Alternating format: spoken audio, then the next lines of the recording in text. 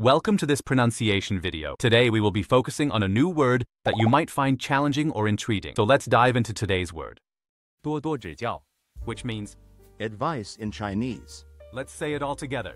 多多指教，多多指教，多多指教， One more time.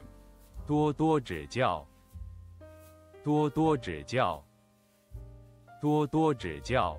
Thank you for joining us on this adventure in pronunciation. Remember, language is a journey, not a destination. Keep exploring, experimenting, and expanding your linguistic horizons. We'll see you next time.